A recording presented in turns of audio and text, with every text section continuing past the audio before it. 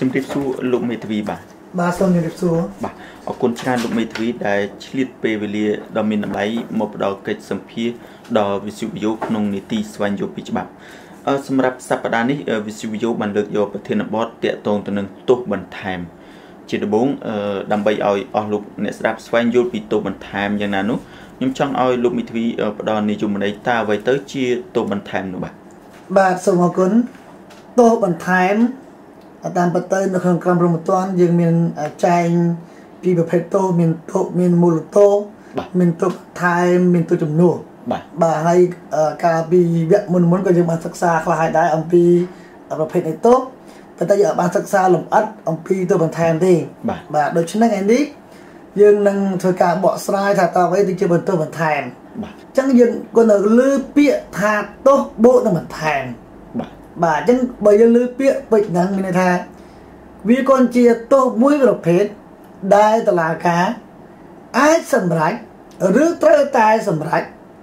បន្ថែមទោសទៅលើមូលទោសប៉ុណ្ណោះមូលទោសគឺសំដៅទៅលើទោសជាប់ពន្ធនាគារនិងពិន័យជាប្រាក់បាទក្រៅទោសទាំងពីរនេះគេហៅថាទោសមូលទោសទោសជាប់ពន្ធនាគារនិងទោសទៅពិន័យជាប្រាក់ភាសាច្បាប់គេហៅថាមូលទោស ក្រៅពីមូលធនគឺតឡាការអាស្រ័យទៅលើបទបញ្ញត្តិនៃមាត្រាច្បាប់នីមួយៗគឺតឡាការអាចបន្ថែម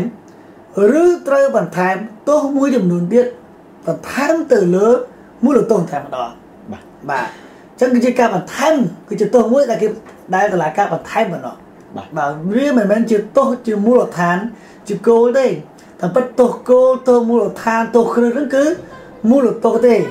បាទដូចជាទោសជាប់ពន្ធនាគារទៅប៉ុន្តែនេះគឺទោសមួយដែលគេបន្ថែមទៅលើមូលទោសប៉ុណ្ណឹងបាទបាទតើទោសបន្ថែមមានអ្វីខ្លះដែរលោកមេធាវីបាទអញ្ចឹងនៅក្នុងក្រមព្រហ្មទណ្ឌគេចែងអំពីប្រភេទនឹងទោសបន្ថែមជាច្រើនអឺឧទាហរណ៍មានការដកសិទ្ធិខ្លះជីវរដ្ឋការហាមឃាត់ចំពោះការប្រកបវិជ្ជាជីវៈណាមួយ ការហាមឃាត់ចំពោះការបើកបរ យានយន្តគ្រប់ប្រភេទការជួលលិខិតបើកបរការហាមឃាត់ការស្នាក់នៅស្នាក់នៅ ការហាមឃាត់ការចាក់ចេញពីដែនដីប្រទេសកម្ពុជាការហាមឃាត់ការចូលការស្នាក់នៅលើដែនដីកម្ពុជាបាទចឹងវាមានច្រើនបើបើចឹងមិនអាយរីរកអស់ច្រើនច្រើនពេកបាទបាទនេះក៏ហៅទៅបន្ថែមហើយបាទបាទលោកមិទ្វីអឺលក្ខខណ្ឌនៃការប្រកាសទោសបន្ថែមនឹងមានអ្វីខ្លះដែរលោកមេធាវីបាទបាទអញ្ចឹង ច្បាប់ចែងអំពីទោសបន្ថែមប៉ុន្តែវាមិនមែនមានន័យថាគ្រប់រឿងក្តីគ្រប់សំណុំរឿងព្រមមិនតាន់ទាំងអស់តឡាការ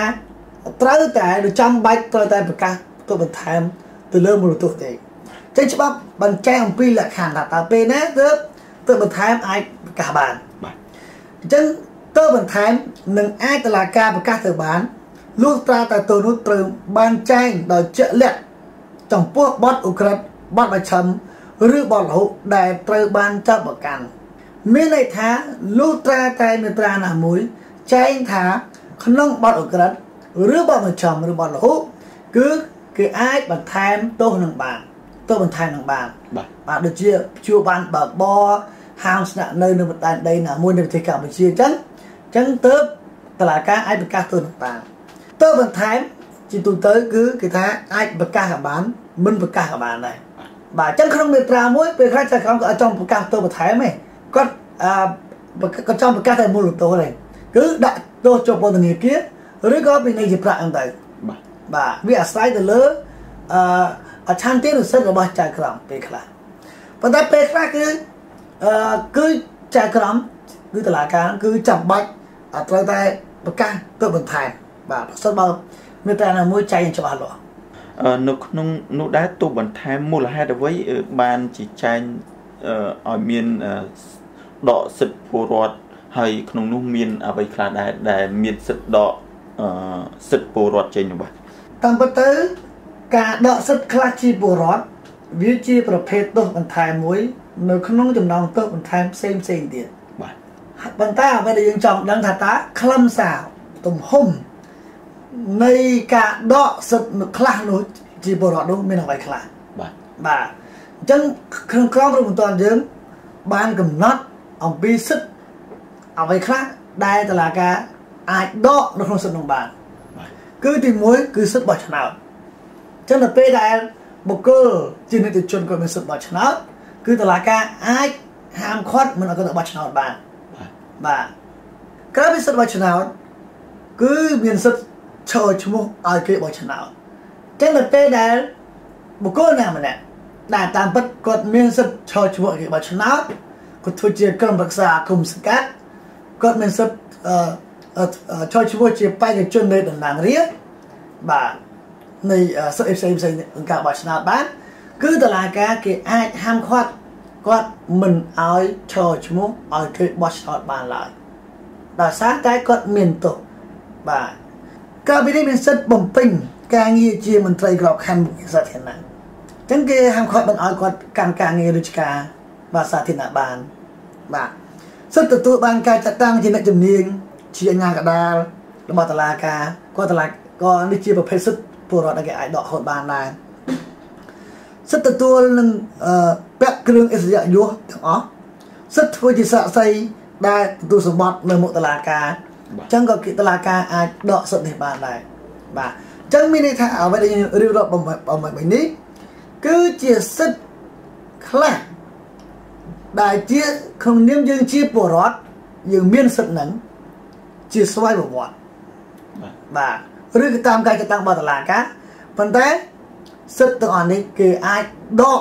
គេអាចហាមឃាត់គេអាចដកជួលយើងសិនគេអាចដកជាស្ថាពរតែម្ដងមិនឲ្យយើងហាមឃាត់ ហាមឃាត់ឲ្យយើងធ្វើអឺមិនឲ្យវិសុទ្ធបោះឆ្នោតមិនអាចឲ្យឈរគេឈ្មោះគេបោះឆ្នោតបានជាស្ថាពរឬរយៈពេលបណ្ដោះស្ថានណាមួយបានបាទបាទនេះហើយគឺជាក្រុមសារនៃអឺនៃការដកសិទ្ធិខ្លះជាពលរដ្ឋស្ថិតនៅក្នុងទើបបន្ថែមបាទមូលហេតុអ្វីទើបមានចែងទោសបន្ថែមបែបនេះលោកមេធាវីបាទមានន័យថាតឡាការគេអាចមើលចរិតលក្ខណៈនៃបទល្មើសនៅអំពើ ចស្នកម្មដែលបង្កឡើងដោយជនចាត់ចោតប្រសិនបើតឡាការឬអ្នកច្បាប់គិតថាមានតែទោសចុះពន្ធនាគារនិងពាណិជ្ជប្រាក់គឺវាមិនគ្រប់គ្រាន់ទេចរិតលក្ខណៈនៃអង្គើគឺចាំបាច់ឲ្យមានទោសបន្ថែមទៅលើទោសរបស់គាត់ទៀតអញ្ចឹងហើយបានជាគេចង់ដាក់ជារបៀបជាគេហៅថាវាមិនចំជាស្ថានមន្ទោសប៉ុន្តែជារបៀបនៃ ស្ថានមន្ទោសដែលបន្ថែមឲ្យគាត់ទៀតដែរបាទឲ្យគាត់មានការថាអឺរៀងចាថ្ងៃក្រោយកុំឲ្យប្របាត់ល្មើសតទៀតបាទបាទបាទតើទុកបន្ថែមមានចែងនៅមេត្រាប៉ុន្មានខ្លះដែរលោកមេធាវីបាទទៅបន្ថែមគឺខាងក្រមរំទ័នគឺមានចែងចាប់ពីមាត្រា53ដល់មាត្រា71បាទ បាទ